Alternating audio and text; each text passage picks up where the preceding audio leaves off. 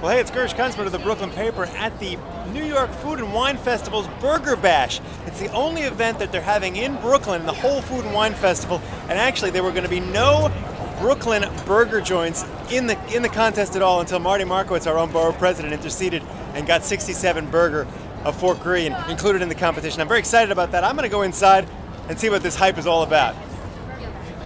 Well, they were bussing people in. They were bringing them in on limousines for this event so they can enjoy all these fancy burgers from all these Manhattan joints with their Kobe beef and their foie gras burgers. But I don't care where the burger's from. I did what I do best for you, the viewer of the Brooklyn paper. I mean, I did some serious research. I must have eaten about 15 to 20 burgers that night. For you. I did it for you. That's a great burger. Even Al Roker from the Today Show was there. Now, you gotta give the guy a little credit. He actually was manning the stove himself. So that doesn't make him immune to criticism, does it? All right, I'm gonna try the Roker burger. Now, I gotta say, I have always found him to be cloying, a sentimentalist, and, and his reports have about as much edge as a Kmart knife blade. But I'm gonna try it anyway, just to give him the fair shot. No, no, Roker, not today. First of all, the cheese isn't great. The bun is very processed, like a like a Martin's potato roll, and it's cooked. It's a little overcooked. So, Roker, not today, my friend. You come to Brooklyn, you got to cook like a Brooklynite. Not today. Finally, I had a chance to check in with 67 Burger, and what I found shocked me. You know, as a Brooklynite, I am absolutely appalled that 67 Burger has been shunted out, basically to the very corner of the tobacco warehouse. They don't even have a sign. They haven't even given them a sign. I think this is an egregious affront to Brooklyn. You're in our house right now. Treat 67 Burger with respect.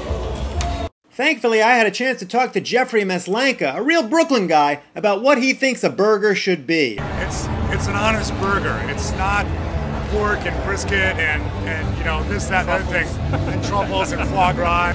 But uh, none of my burger. I want a hamburger. I want a cheeseburger. Um, once in a while, I'll put bacon or cheese on it. But it's uh, I, I keep it simple. I keep it fresh. I keep it 100% pure. Well, that was obviously a shot across the bow at all these fancy burgers, but I had to keep trying them. All right, I'm having the BLT burger again from Manhattan. And again, this is like my 15th burger, and I'm doing it for you. No, it's actually a little greasy. The pork is nice. It's got a nice bacon on it, but it's actually a little greasy. I, I don't really want to pay $30 for this burger. But, you know, I, am not going to say I'm not, it's not a good burger. I mean, it's, it's a good burger. I mean, I'm eating it, you know. But, but it's not a great burger.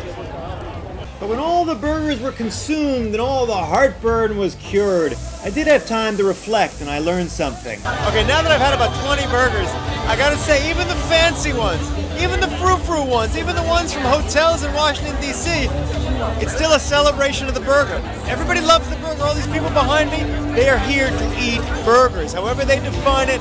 And I think this is a great country. Red state, blue state, hamburger, cheeseburger, veal burger, lamb burger. It's a great country. It's a great celebration. And I'm Gersh Kuntzman of the Brooklyn Paper.